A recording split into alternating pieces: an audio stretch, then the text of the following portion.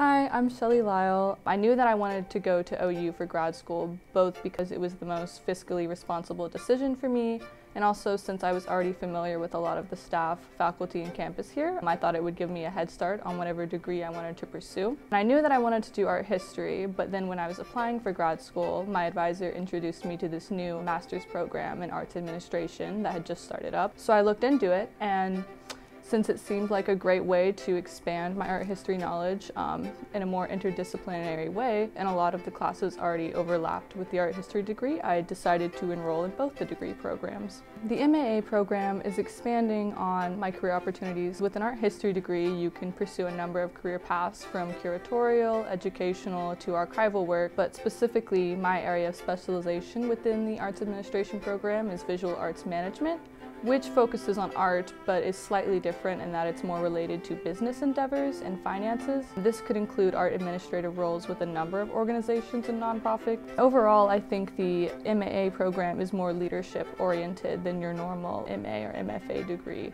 In the short amount of time that I've been here, I've already learned a lot about the inner workings and sort of structures of art organizations and also how to start and run your own arts organization. Well, one thing about my current learning that feels really rich is last semester I took a class required for the MAA degree called Working with Artists in Publics.